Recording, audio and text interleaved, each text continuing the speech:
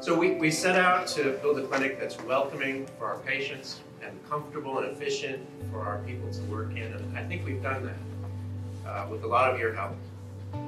The other thing we set out to do was build strong connections to the Glendale community, to the people and the institutions that are here. And we've made a lot of progress on that as well. We have a lot more work to do. We need your help to continue that work. That work is never done. I want to emphasize the profound impact this clinic has on defining the very essence of this community.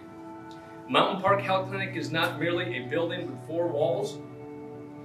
It's a place where fear meets hope and breathes life into the heart of our community, this community. It's a pleasure to be here today and to see so many people representing the Mountain Park community.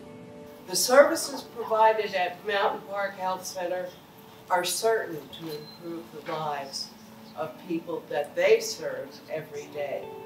We are partners with you. Our goals are your goals.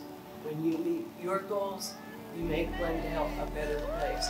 And we couldn't be happier to have you here with us. There's two critical issues that really face the people of Maricopa County, housing and healthcare.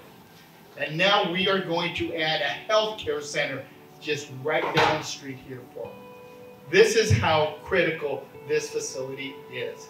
Families can walk into this beautiful facility and be able to get the treatment they need. This is all part of the community. It's all for the community. It's about the people. That's about serving the people within that community.